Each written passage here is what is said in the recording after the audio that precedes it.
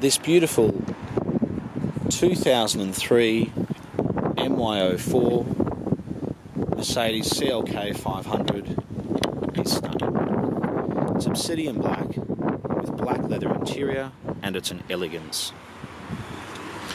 I said it's an MY04 because it was built in October 2003 and uh, which makes it a 2004 model year and it's got a few little extras like it's got the updated fibre optics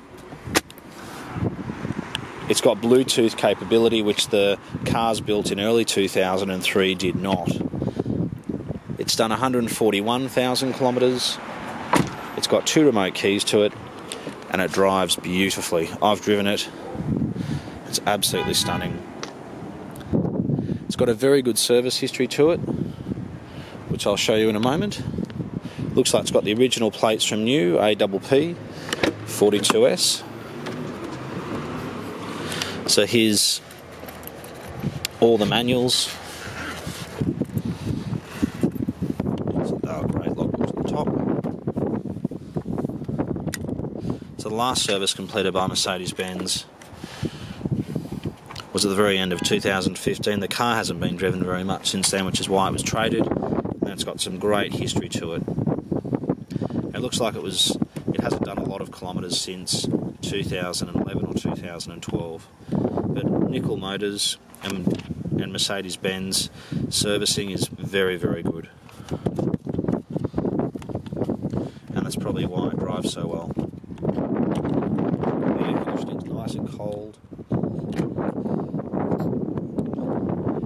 And it's got the 5 litre V8 with the 5 speed automatic transmission.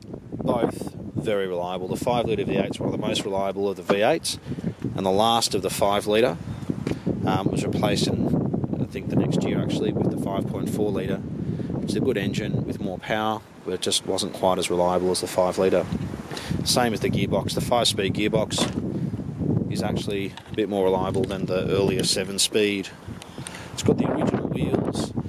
Sometimes these convertibles, someone puts, puts on some big 20 or 22 inch chrome wheels and it wrecks all the suspension and bushes and components and shocks. But this is just an original car with a great history, two keys, a great colour combination, and being an elegance, it's got that beautiful timber trim. It's got Bluetooth available, you just need to buy a part which goes in the centre console, memory electric seats, navigation. I think it's gorgeous. We've just given it a quick wash, it still needs a detail obviously. But if you're looking for a convertible with reasonable kilometres in great condition, I think it's a good place to start. We'll just start it up. So the electric steering column. We were offered another black CLK 500 from the same year. It even had the same Ks, but the condition was very average and the logbook wasn't very good, and we just um, decided that it's just not a car we would be interested in, and then this came along, which made us very happy. I'll just turn it off now. Well, thank you so much for taking the time to watch our video. We are the Oldtimer Centre. We're located in Marrickville, in Sydney, and we certainly do look forward to hearing from you. Thanks again for watching.